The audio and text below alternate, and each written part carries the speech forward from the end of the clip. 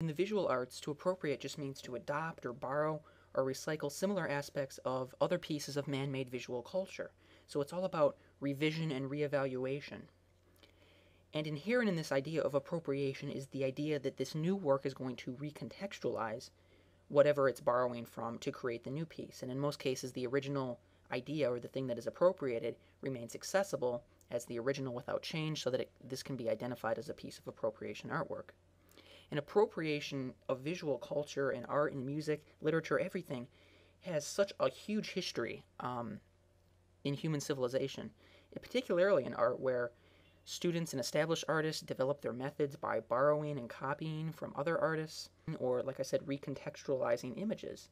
So, appropriation can be seen essentially as just the way in which humans progress and learn. And here we're looking at a classic example of that from Andy Warhol's Campbell's Soup collection, where he's taken an ordinary everyday object, like the label on a Campbell soup can, and recontextualized it into an artistic setting. So, sort of asking the question, well, why can't we look at something like a simple soup label and think of that as being art, just like we look at, you know, these massive paintings and, and think of these as impressive pieces of artwork as well. And this next particular painting by Marcel Duchamp I actually got from University of Nottingham has a great YouTube channel called Words of the World, and they did um, an episode on the word avant-garde. And this was an example they used. And this is also a great example of appropriation artwork. You've got the Mona Lisa with a little uh, mustache and beard drawn on, and the title of the painting is a pun. When these letters are pronounced individually in French, you get L-H-E-Q. L-H-E-Q loosely translates to she has a nice ass. Or if you want to be a little bit more slangy and a little less appropriate, um, that, you know, she wants it. And this is another great example of how we're recontextualizing art in a way kind of um, deapothesizing the Mona Lisa and questioning uh, really what what is it about this piece that makes it so magnificent and so much superior to uh, to some of the other types of things that we see in the art world. And the appropriation art movement and the avant-garde movement gave rise to other artistic movements as well. And this next painting we're looking at here is the classic example of synthetic cubism. And cubism, of course, was a movement that was pioneered primarily by Pablo Picasso and what makes this synthetic cubism is that it's not only oil painting, it's also a, a collage of different materials. And the key in synthetic cubism is, is just that to, to merge different subject matters. And it was the beginning of collage materials as being introduced into an important ingredient of fine artwork. And that led to another movement in art known as the ready made or the found art movement. And this once again was pioneered by pioneered by uh, excuse me Marcel Duchamp, and this is his piece known as the Fountain, and it's quite simply just a modified urinal that once again he's recontextualized into an artistic setting. And in ready-made or found art, um, like like the fountain here by Duchamp, the key is to, to take objects that aren't normally considered art uh, because they already have a non-art function, but then kind of creatively display them in an artistic context. And then this idea of uh, a ready-made or found art then gave rise to another movement known as Dada or Dadaism. And this movement was fairly it's fairly difficult to describe. It wasn't it wasn't just an artistic movement; it was also a cultural movement um, that was very anti-war.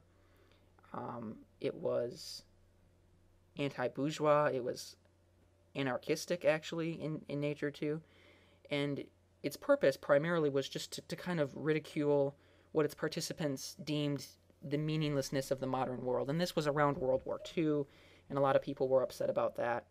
And it continued with the appropriation of everyday objects, but unlike the ready made or found art of Duchamp, it didn't attempt to elevate the low, um, like a toilet urinal, to a higher art status, but rather it just sort of produced art um, in which chance and randomness formed the basis of creation. And here's kind of the classic example of that um, a collage by Hannah Höch called Cut with the Dada Kitchen Knife through the last Weimar beer belly cultural epoch in Germany.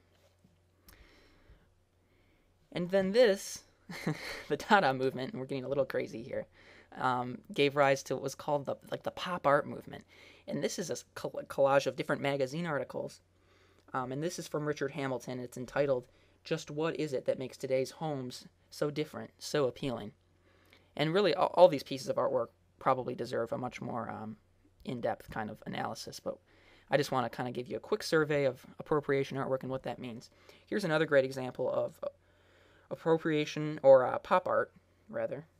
Um, and this is entitled Drowning Girl. It's by Roy Lichtenstein. He actually had a uh, exhibit at the Dennos Museum in Traverse City, which is where I live, uh, a few years ago, I think, which was cool to see. Anyway, now let's move on back to Yasumasa Morimura.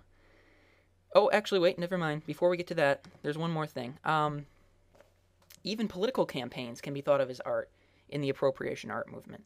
So, once again, something that we normally think of outside of the artistic realm, like um, a political advertisement, can be thought of artistically as well. So, this was a very popular image, obviously, during election time, and it can also be uh, thought of as an example of appropriation art. Okay, now, Yasumasa Morimura. So, I'm just going to give you some examples of um, his big claim to fame is painting himself into famous paintings or portraits. So here's a portrait of Marilyn Monroe, and here's his version of it. And then here we see one of my favorite paintings in the Musée d'Orsay in Paris. This is Olympia by Edouard Manet. And here's Morimura's version. and this is Girl with a Pearl Earring by Johannes Vermeer, Dutch artist. And there's Morimura's version. And then one last one here. This one's a little bit more difficult to see, but this is the anatomy lesson of Dr. Nicolas Tulp by Rembrandt. And there's Morimura's version. So appropriation art covers a huge span of time and really encompasses a lot of different art movements, but it's got a lot of cool stuff. So feel free to, to check out any of the paintings that we've talked about in this video and, and learn more about them because they're all really great. Thanks for listening. See you next week.